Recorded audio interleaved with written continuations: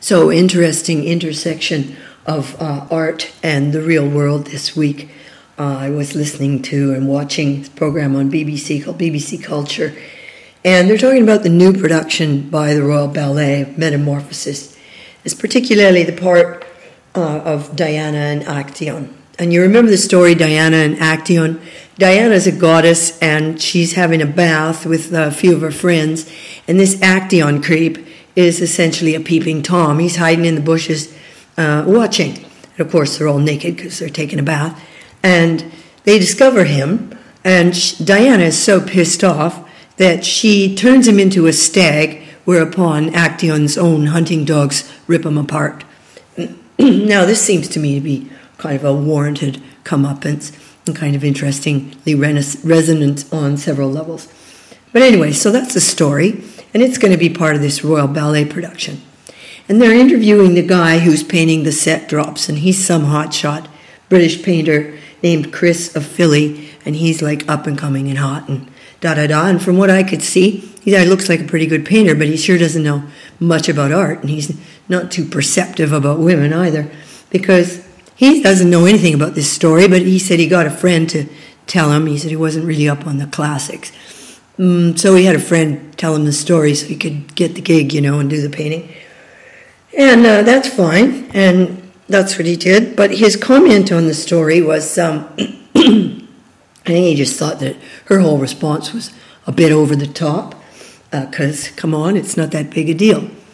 Now, to me, this indicates that this guy has absolutely no empathy or consciousness about um, the, the threat of the lascivious male gaze, particularly when it's um, clandestine and it comes at you in a peeping Tom kind of way that probably isn't, well, it's pretty fairly creepy to most women and certainly threatening. And it's um, one step that leads into a very bad set of um, circumstances. So there you go, uh, two points of view on that. So, interestingly enough, the same week, that this is on BBC. There's this explosion over these pictures of the Duchess of Cambridge, which you've probably heard about. Some creepy para, para what's the word? Parazzi. Oh, I can't think. I'm sick. But anyways, this some some creepy cameraman shot her with a long distance lens uh, as she was lying on a private patio in some secluded rural chateau in France, getting a couple of days rest before she and her husband took off on this big tour of the Middle East and the East, which they are now on as this whole thing blows up. And these nude pictures of her are being published already in uh, Ireland and France first, then Ireland, and now apparently this week they're going to come out in Italy. And I just can't imagine how horribly violated she must feel about this. And, uh, and they are said to be furious. Furious. That's an interesting word, isn't it, in this context?